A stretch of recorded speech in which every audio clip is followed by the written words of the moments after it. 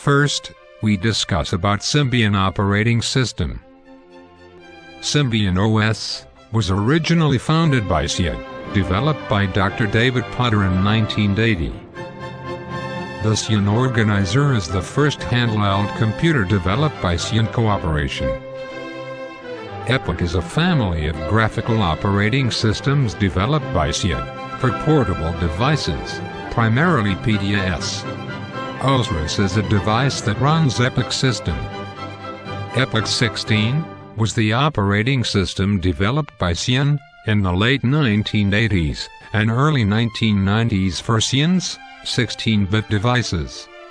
EPOC 16 devices featured an 8086 family processor and a 16-bit architecture. EPOC 16 was a single-user preemptive multitasking system written in Intel 8086 assembler language and C, and designed to be delivered in ROM. It supported a simple programming language called Open Programming Language and an integrated development environment called OVAL. Later on in 1997, EPOC 32 was developed. This operating system supports 32-bit processors, and it was written in C++. EPOC 32 was a preemptive multitasking, single-user operating system with memory protection. In 1998 EPOC renamed as Symbian and Psion became Symbian Limited. The OS was renamed Symbian OS, and was envisioned as the base for a new range of smartphones. Symbian OS 6.0 and 6.1 was the first Symbian OS series. The first open Symbian OS phone, the Nokia 9210 Communicator, was released in June 2001, with Bluetooth support, Nokia Series 60 UI, a keypad-based UI for the first true smartphones. The first one of them was the Nokia 7650 smartphone. Later on Symbian OS 7.0 released, with Edge and IPv6 support. Sony Ericsson P-Series, Motorola 925, Nokia Series 80, 90 and 60 phones were based on Symbian 6.0. After that, Symbian OS 8.0 released, support with two different kernels called EK1 and EK2. EK1 was chosen by some manufacturers to maintain compatibility with old device drivers, while EK2 was a real-time kernel. Symbian OS 9.0 was used for internal Symbian purposes only. It was produced in 2004. Symbian OS 9.1 an open source development released early 2005. It includes many new security-related features, including platform security, Sony Ericsson M600 and P990 based on Symbian OS 9.1. Symbian OS 9.3 upgrades include improved memory management and native support for Wisconsin PHY and HSDPA, Nokia E72, Nokia N96, Nokia E52, and others feature Symbian OS 9.3. In 26 March 2007 Symbian Limited announced version 9.5 which includes native support for mobile digital television broadcasts and location service. Now let's focus on Android development. In July 2005, Google acquired Android as a small startup company based in Palo Alto, California, USA. At the time, little was known about the functions of Android. At Google, the team led by Rubin developed a mobile device platform powered by the Linux kernel which they marketed to handset makers and carriers on the premise of providing a flexible, upgradable system.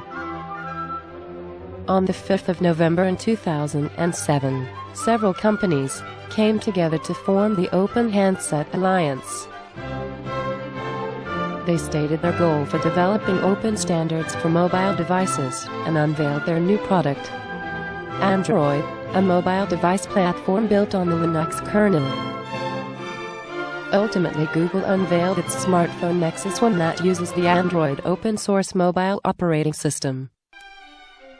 Main features of Symbian operating system Symbian is a very powerful for general purpose development.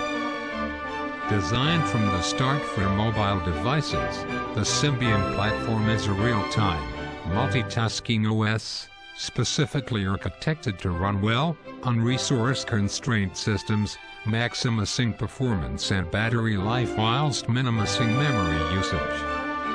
Portions of the platform's source code have already been moved to open source, onto the Eclipse public license. By mid-2010 this process will be complete, making the platform code available to all for free. Close to 300 million Symbian OS-based units have been shipped and Symbian holds more than a 50% market share globally. Application development in Symbian Symbian is written in C++ programming language, but it is difficult to learn because unusual C++ application programming interfaces, poor debugger support, and Symbian 9 breaks binary compatibility. Symbian debuggers available for latest versions. Symbian has free emulator and many choices for integrated development environment. Cross-platform development is target-related. Must compile according to the target device. Installer package deployed as SIS package. Development tool cost varies, but free tools are available.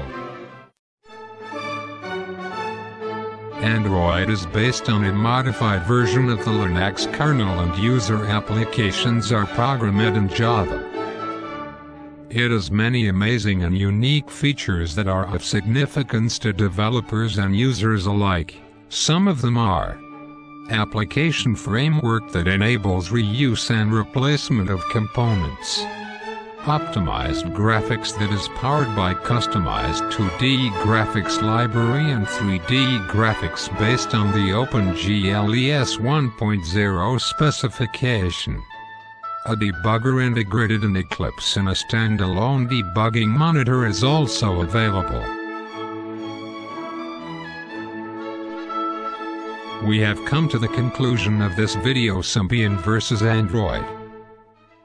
In the second video, we are hoping to give an in-depth comparison of Symbian and Android mobile operating systems. Thank you for watching this video.